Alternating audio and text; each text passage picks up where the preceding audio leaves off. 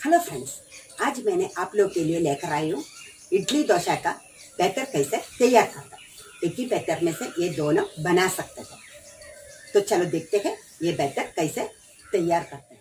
और ये बैटर में मैंने यूज़ किया है बॉयल्ड राइस और कच्चा राइस कोई भी चावल मैंने ऐड नहीं किया है। जो वीडियो में बताया उस तरीके से हम बनाते हैं तो ये दोनों आसानी से हो सकता है। और ये एक ही बैटर में से दूसरा दिन भी इडली बना सकते हैं। अगर वीडियो पसंद आ गया तो लाइक करने के लिए शेयर करने के लिए और कमेंट्स लिखने के लिए भूलना नहीं। ज़्यादा पसंद आ गया तो सब्सक्राइब करने के लिए भी भूलना नहीं।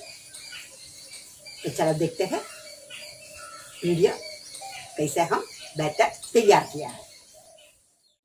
मैंने इधर एक वीक के लिए एक साथ इडली के लिए भी डोसे के लिए भी बैटर बनाकर रखते हैं।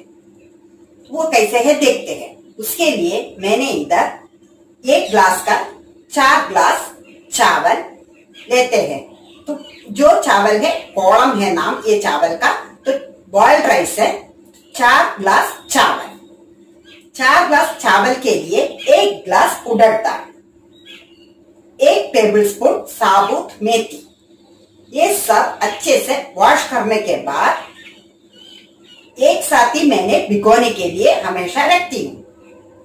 भिगोने के लिए भी पानी ऊपर तक आना चाहिए, उतना पानी में भिगोने के लिए रखते हैं। लास्ट में वही पानी में हम पीसते हैं। तो एक्स्ट्रा पानी ऐड करने का ज़रूरत नहीं पड़ेगा। अगर कम हो गया तो आप अलग पानी डाल सकते हैं। भिगोने के लिए रखने के बाद आपको दिखाती हूँ। चार पाँच घंटा तो कम से कम पाँच घंटा तो रखना ही पड़ेगा। भिगोने के बाद हम अभी पीसने के लिए शुरू कर देंगे।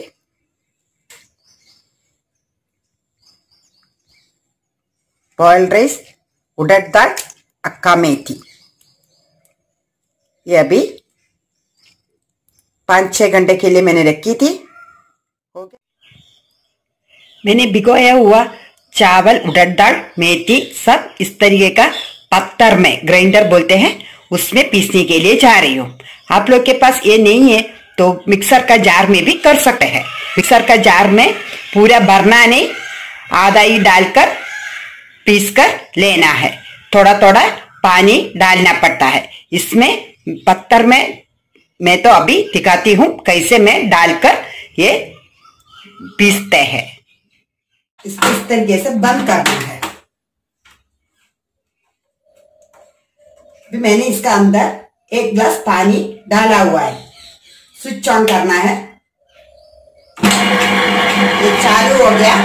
अभी इसका अंदर हम थोड़ा थोड़ा डाल देंगे।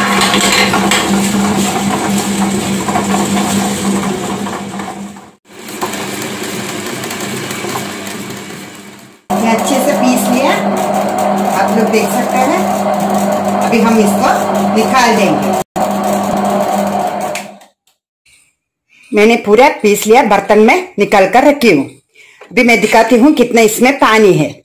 ज़्यादा पानी नहीं डाला। पीसने के लिए जितना ज़रूरत पड़ा, उतना ही मैंने पानी डाला है। अभी ये दिन का टाइम है, सुबह का साढ़े आठ बजे है। हम शाम को देखते हैं वो कितना फर्मेंट हो गया। ये अच्छे से फर्मेंट होना है। ये अभी अच्छे से फर्मेंट हो गया। देख सकते हैं इस तरीके से। तो मैं कल सुबह बनाने के लिए जा रही हूँ। तो अभी ये निकाल कर फ्रिज का अंदर रखती हूँ।